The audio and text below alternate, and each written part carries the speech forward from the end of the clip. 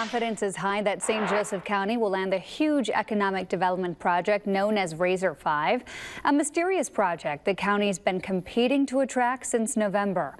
Our Mark Peterson joins us live there. Mark, what's the reason behind all this optimism now? You know, it's not hard to find if you know where to look, so uh, take a look for yourself.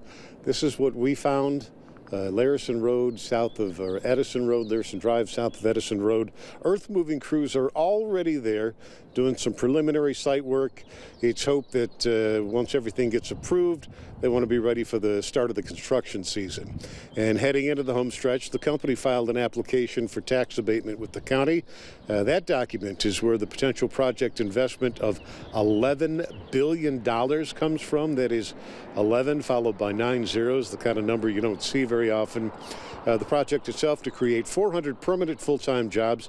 They will pay 125 percent of the average local wage. That comes out to be about 30 bucks an hour. There will also be third-party contractors working at the site. A lot of details still to come about the project, the number of buildings and, and, and total sites, but they've got two different sites that they're working through and trying to examine whether they build on one or the other or both. It'll really be more of a business park feel. I mean, I think you're, you're going to see it. They're, they're uh, uh, fairly good sized buildings. Uh, it would be a campus of buildings, um, but it, it'll be you know, it'll be fairly contained within the site. It won't be a lot of trucks in and out. It'll be a lot of, you know, people come to work, people go home, and, and it'll be it'll be a real good place to work.